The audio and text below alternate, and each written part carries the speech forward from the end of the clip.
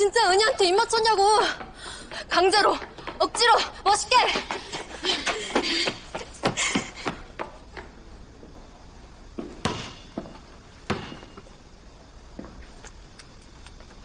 내가? 너를? 강제로? 억지로? 너도 좋아했잖아. L'anno, il giorno e l'ora.